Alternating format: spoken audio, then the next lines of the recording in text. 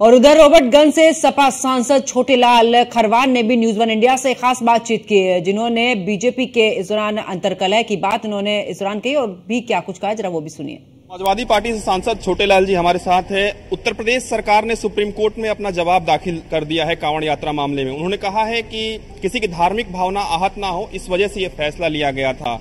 आप इस जवाब पर क्या कुछ कहेंगे? मोदी जी नारा दिए थे कि सबका साथ, सबका विकास, उसका क्या होगा?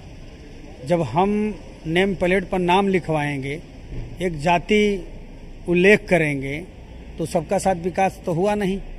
तो जो सरकार का निर्णय है, ये गलत है।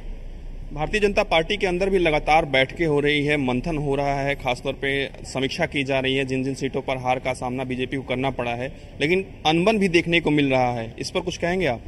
जब से उत्तर प्रदेश में 2024 के चुनाव में भारतीय जनता पार्टी हारी है, तब से घबरा गई है। मुझे लगता है कि वो टूट के कगार पर आ गई है। पार्टी, भारतीय जनता पार्टी खत्म होने वाली है। धन्यवाद, हमारे साथ बातचीत कर रहे समाजवादी पार्टी के सांसद हैं छोटेलाल जी, विजय राज के साथ मैं पीयूष तिवारी, नई दिल्ली।